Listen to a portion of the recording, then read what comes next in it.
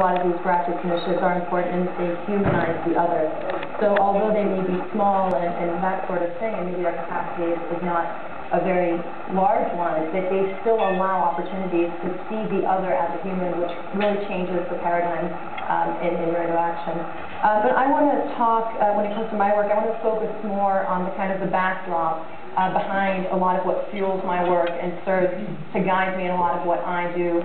Um, you mentioned I work as an independent contractor, so I work with a lot of different entities, organizations, grassroots initiatives, in addition to institutions um, and some of the embassies in the D.C. area. So I've really been able to see an interesting um, kind of collaborative development or, or kind of cross-cutting of these different initiatives and how they affect different communities on a lot of different levels. Um, and, and I, I want to begin by talking about the importance of perception, and perceptions being very important in that they dictate the course of our interactions with other people. And these preconceived notions and labels that we put on people dictate how we interact towards them and treat them.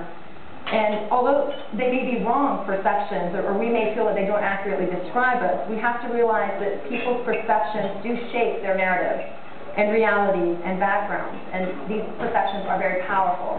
I, I, got an email many years ago, and it really has stuck with me over the years, and it was called The Power of Punctuation. And I don't have a, a slide, so I'm going to try my best to describe it. But it was an English professor who wrote the word, and I'm going to say this, try to say this without uh, punctuation, but a woman without her man is nothing on the chalkboard. And they asked their students to punctuate this. Now the males in the class wrote, a woman without her man is nothing.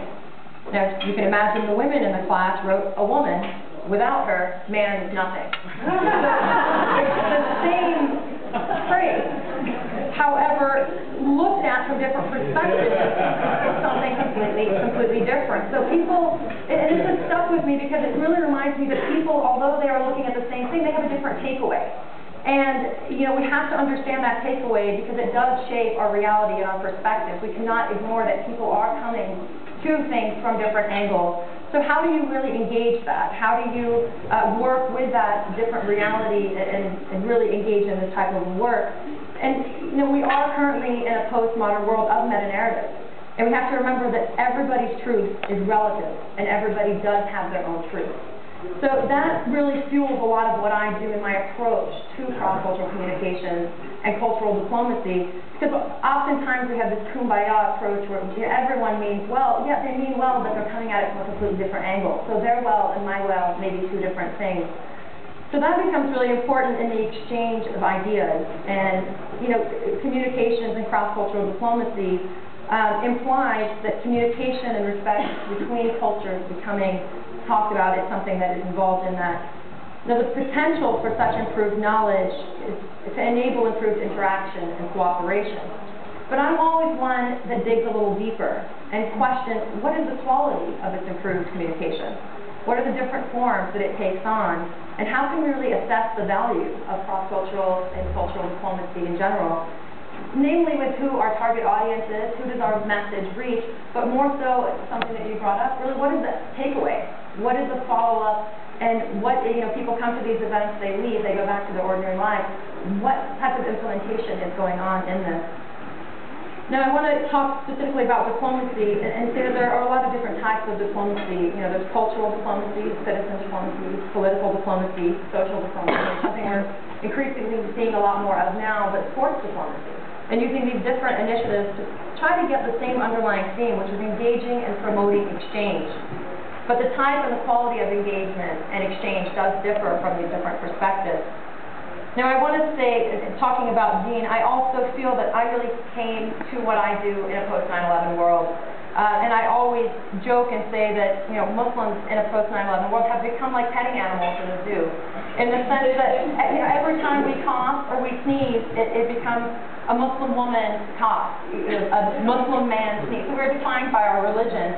And I, I long for the day that I pick up the New York Times and I read that a white Anglo-Saxon middle-aged man uh, fed children at the soup kitchen. You know, so until we, and although it is great, but we have to realize that sometimes talking about these initiatives does embed and perpetuate a sort of a stereotype, and that these Muslims that are doing this are out of the ordinary. So although we are getting great publicity for a lot of the work that we are doing, and a lot of these forums are talking and talking about the engagement with Muslim communities, we have to realize that this is also in a platform of, well, why is this important? Why does it matter that a Muslim woman is, is feeding homeless children at the shelter? Does my religion have to be talked about in that context uh, versus not? So in essence, I'm not self-ascribing as a Muslim. I, I'm being told uh, that that is an important attribute of my identity that is newsworthy of talking about. And the reason I bring up Islam again is I, that's a lot of my focus area. But, uh, you know, first and foremost, I want to say that when we talk about Islam, uh, that we have to really differentiate between Islam as a religion, as Muslims as followers of that religion. And secondly, we have to realize that Islam is not only a religion, but Islam, Islam is also a culture and a social, it's a social reality and a cultural reality. And within those ethnic and subgroups that exist, there are also subgroups of those subgroups. And as you said, this becomes a lot more complex than merely, you know, let's educate people about the Muslim world or about Muslims or about Arabs. You know, oftentimes people don't realize there are 22 Arab countries that, you know, define the Arab world. But often we hear about the Levant area, we hear about Dubai and beautiful buildings and crazy economic situation there. And then we hear about, you know, North Africa and that sort of thing. But we don't really dissect this complex reality which is the Arab and Muslim world. And, and oftentimes, although our work aims to do great religion, we do perpetuate a type of idea that there is an Arab or a Muslim uh, in our work. So, so a lot of what I do is trying to dig below that and deconstruct those types of narratives and realities and, and engage people on those levels to really realize that there are diverse groups within diverse groups and furthermore within those diverse groups. Um, so that brings me to my second point with my diplomacy work, is that we really need to try to reach beyond the choir in some of what we do. And you guys, you know, are doing great work and that you do not necessarily have your, your audience, which is a built-in audience. But oftentimes, cultural initiatives speak to those who are willing to receive our message.